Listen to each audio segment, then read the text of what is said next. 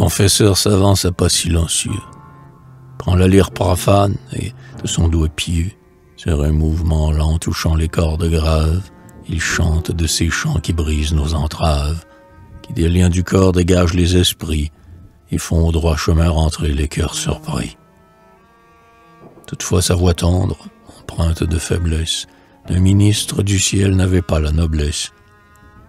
Tandis que la prison répète ses accents, la lampe obscure éteint ses rayons pâlissants.